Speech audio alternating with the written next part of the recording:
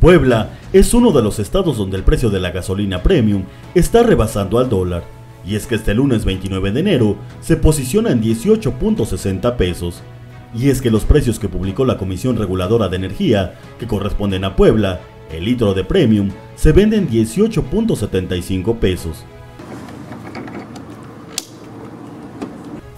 Por mencionar algunos municipios, la Premium en Zacatlán, Atlixco, Tehuacán, Ciudad Cerdán y Teciutlán se venden 19.8 pesos.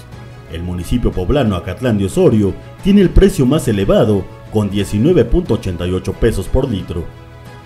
Es así como seguirán los famosos gasolinazos en todo el estado de Puebla. Para plataformas digitales, Juan José Pérez Becerra.